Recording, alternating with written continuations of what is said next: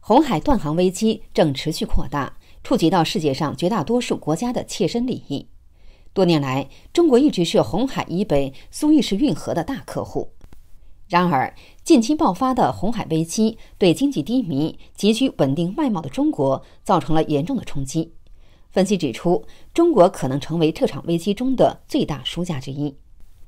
造成这场危机的罪魁祸首——也门胡塞武装，是伊斯兰教什叶派的反政府组织，是巴勒斯坦激进组织哈马斯的盟友。自去年十月七日，恐怖组织哈马斯对以色列发动恐怖袭击后，胡塞武装便向以色列和途经红海的国际海运船只发动无人机和导弹袭击。该组织表示，袭击的目的是支持哈马斯以及被困在加沙地带的巴勒斯坦人，但他们攻击的目标经常是与以色列没有明确联系的船只。在长达近三个月的恐怖袭击之下，红海这一最繁忙的国际水道已陷入近乎瘫痪的状态。一月十七日，美国将也门胡塞武装重新列入恐怖组织名单，美军则持续对胡塞武装发动空袭。然而，红塞组织有恃无恐，继续袭击途经红海的商船，导致越来越多的海运公司决定改变航线绕道。出席瑞士达沃斯论坛的企业高管表示，红海航运中断可能会使得相关供应链好几个月不能正常运行，还有可能导致运输燃料所需的油轮短缺。经济界人士已经对胡塞武装袭击国际商船所造成的危害发出了新的警告。然而，一直以来，中共都只是笼统地表示反对胡塞武装袭扰民用船只的行为。没有采取任何实质性行动。前不久，联合国安理会以零票反对的表决结果通过一项决议，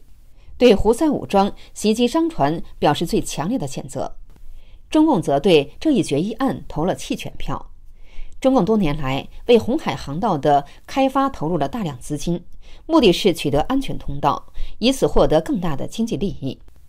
哈以战争爆发前的几个月里，中共和香港的企业承诺向埃及水运干线沿线的各种项目提供至少二百亿美元的资金。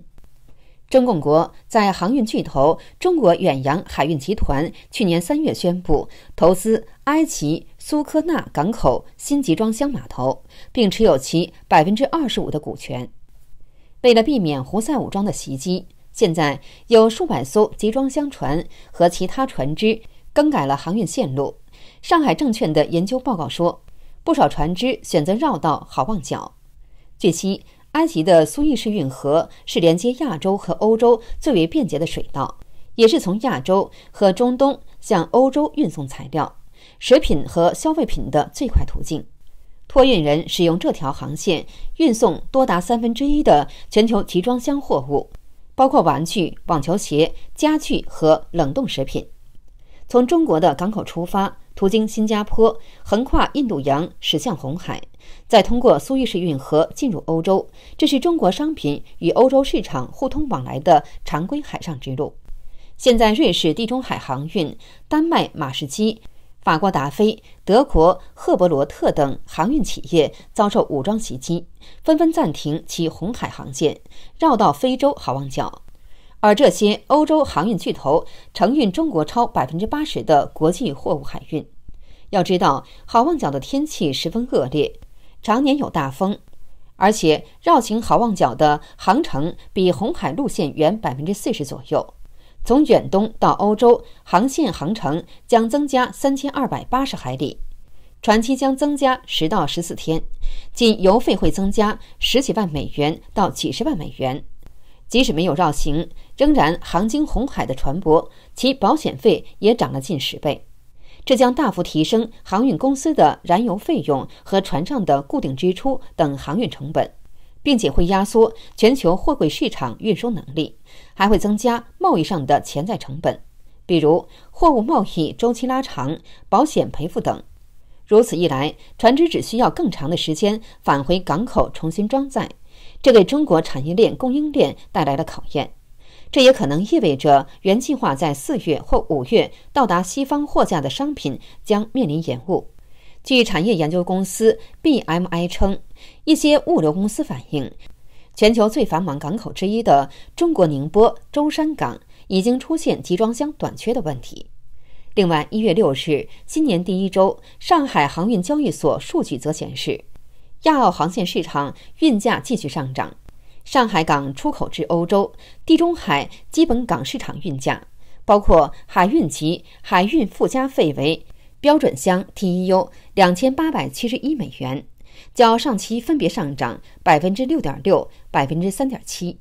不仅航运时间增加，航运支付的价格也水涨船高。一些承运商已经宣布，从本月中旬开始，地中海航运的每四十英尺集装箱运费超过六千美元，每个集装箱五百美元至两千七百美元的附加费，使得承运商所支付的费用总额逐渐加码。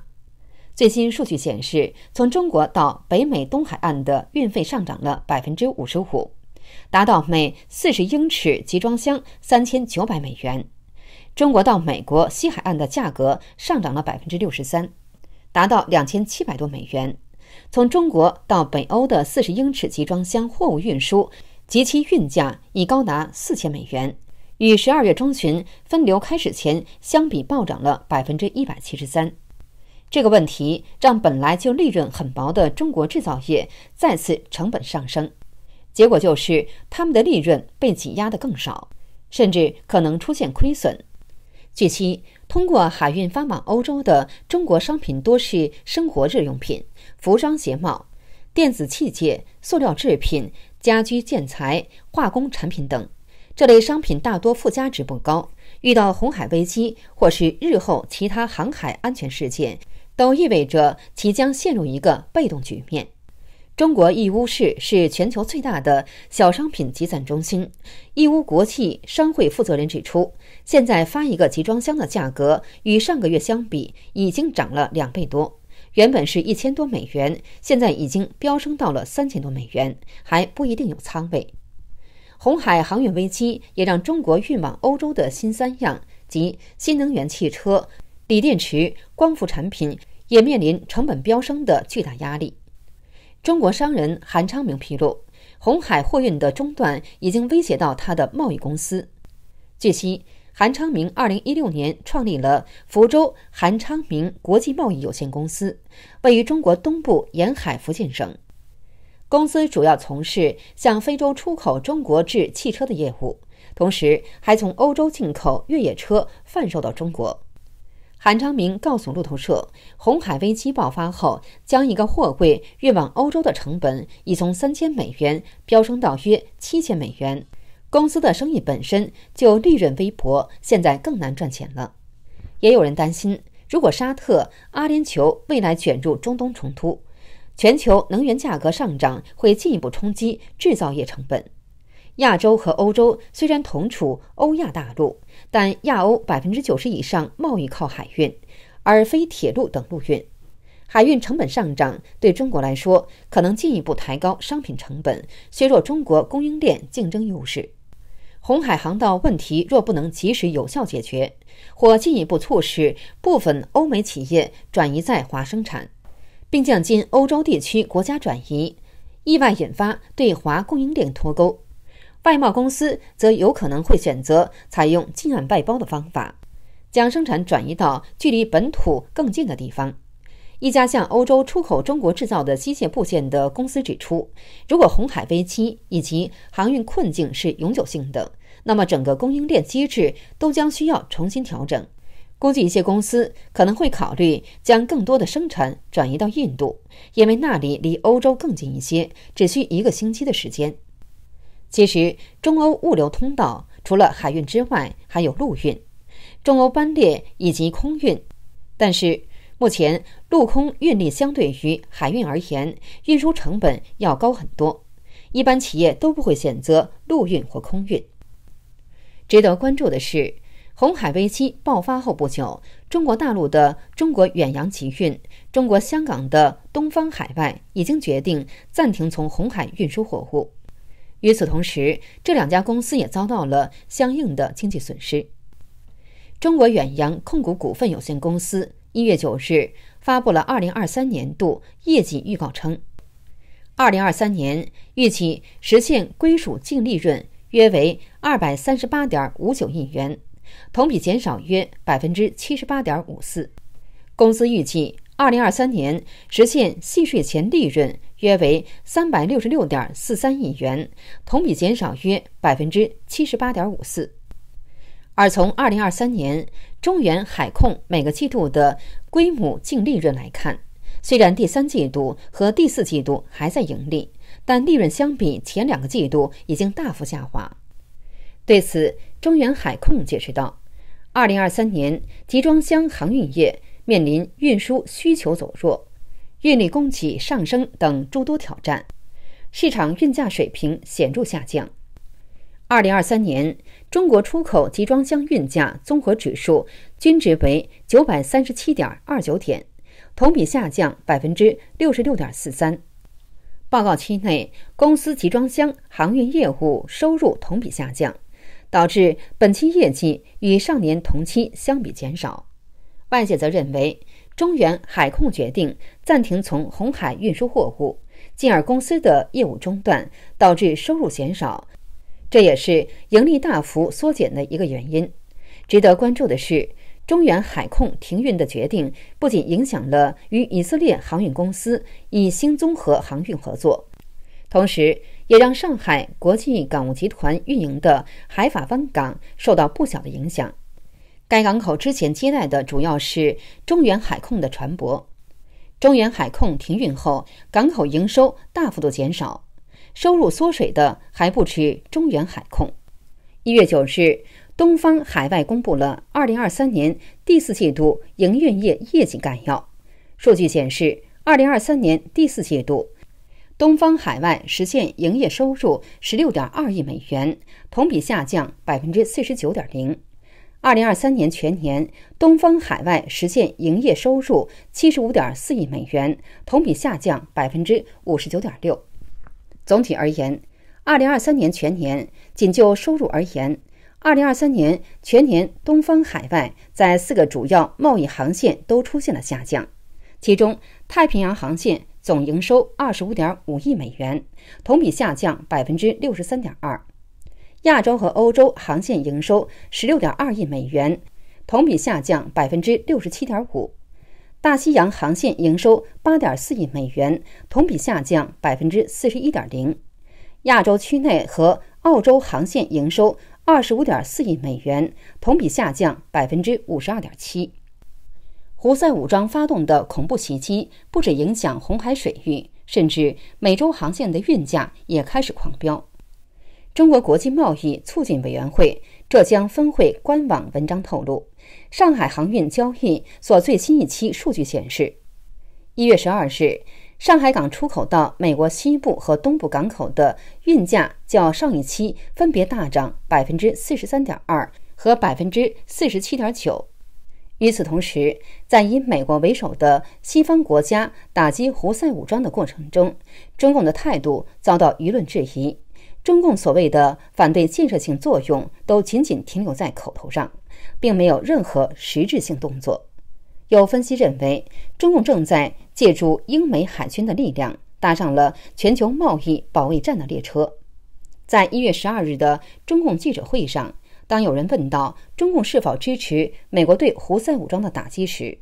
中共外交部发言人毛宁说：“中方对红海局势紧张升级感到忧虑，呼吁各方保持克制，避免冲突扩大。”有报道指出，中共不仅没有反对胡塞武装的实际行动，反而对胡塞武装发起的袭击暗中窃喜。人们注意到，在胡塞武装袭击的数十艘红海商船中，似乎没有中国的船只，还有多家外国船东希望通过表明自己与中国有联系而避免遭到袭击。有外媒透露，最近至少有五艘船只在穿越红海时。因为在其目的地的公开资料中明确标注全部中国船只、中国船员、有二十名中国船员等信息，进而没有受到任何袭击。中国媒体对此大加赞赏，纷纷转发。据了解，胡塞武装背后有伊朗的支持，尤其在情报、武器供应、以及红海船舶信息监视方面，主要由伊朗提供。值得注意的是，伊朗被认为是中共的盟友。中国国防大学教授肖云华在二零二三年十二月下旬在抖音上发布的视频中表示，胡塞武装无意中给中国带来了很大的好处，因为封锁航道可能会推动中欧之间陆路贸易和铁路的增加。这条铁路由中国建设和支持。肖云华还说，胡塞武装的行动间接促成了从海上运输向陆上运输的转变。破坏了美国在海上的至上地位，并推动了北京的全球多极化国际战略。由于红海航线是中国与东欧和欧洲国家进行进出口贸易运输的主要途径，因此有人认为美国和英国对胡塞武装进行打击，从侧面维护了中共在红海的利益，使其渔翁得利。但正如我们前文所阐述的内容，虽然中共在红海的货运安全尚且不会受到太大影响，但红海紧张局势的加剧导致货运成本飙升，其连带效应已经给依赖出口的中国企业带来巨大损失。与此同时，由于红海危机引发的供应链断裂风险，不少西方国家或将考虑将生产转移到离本土较近的地方。以减少对中国进口的依赖。中国《每日电讯报》还指出，中国其经济依赖于中东稳定的石油和天然气供应以及全球航运畅通。但如果中东冲突扩大，中国可能是最大的输家之一。例如，红海运输和中东石油的进出口密密相连，石油进口则是中国的核心经济命脉。官方数据显示。二零二二年，中国从中东进口原油约占总进口量的百分之五十三点五之多。中国前五大原油进口来源国中，中东占据四席。自胡塞武装发动袭击之后，国际油价有所上涨，但只有约百分之四。一月十六日，德克萨斯中质原油价格较上星期五还下跌近一美元，每桶七十一点七八美元。哈以战争爆发后，石油价格涨至每桶八十四美元，这直接导致中国的制造业成本大幅上涨。我们还看到，中共对于哈马斯的态度也耐人寻味。对于屠戮了大量以色列人的恐怖组织，为什么中共一直不谴责他？时评人王友群指出，截至二零二三年今日，中共陷入其有史以来最深刻的内政外交危机。在经济方面，受大瘟疫爆发影响，中共经历了三年的极端清零政策，导致经济受到严重打击，出现了罕见的股市、汇市、楼市、债市四市齐杀的局面。政治上，中共外交部长秦刚、两任国防部长李尚福、魏凤和、火箭军的前司令员、副司令员、政委、装备发展部若干副部长等人都出了问题。反击势力趁机不断宣传说，中共高层再现反袭潮。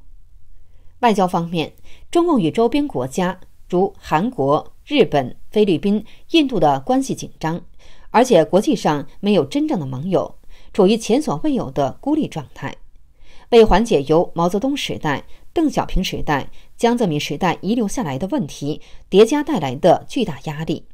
中共需要在世界各地制造热点。以分散全球对中共内外危机的关注。还有评论指出，中共以破坏世界贸易规则的角色，通过最大限度占便宜，赚取大量外汇，采用国家战略的模式来盗取知识产权，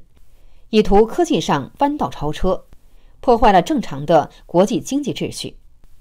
美国众议院司法委员会下辖的法院知识产权和互联网小组委员会指出。中共每年从美国窃取的知识产权总价值高达六千亿美元，相当于每个家庭每年损失六千美元。中共还动用国家之力，通过财政补贴等手段，使中国企业通过低价倾销，击溃了欧美的大量制造业企业。近期，欧美展开了对中国新能源产业方面的产品。如电动车、光伏产业等进行了反倾销调查，并征收高关税。目前，中国的政治和经济正在加速开倒车，国资占比重越来越大，民营企业和外资纷纷撤离，而房地产业、金融业等随时暴雷。从历史和实践的角度分析，可以看出，未来几年中共经济必破产。分析人士还指出，认为中国经济已经面临着房地产危机、消费者需求疲软、人口萎缩以及全球经济增长乏力等多重困境。红海危机引发的经济冲击，一旦超过一定程度，可能对中国的长期经济和战略利益构成严重风险。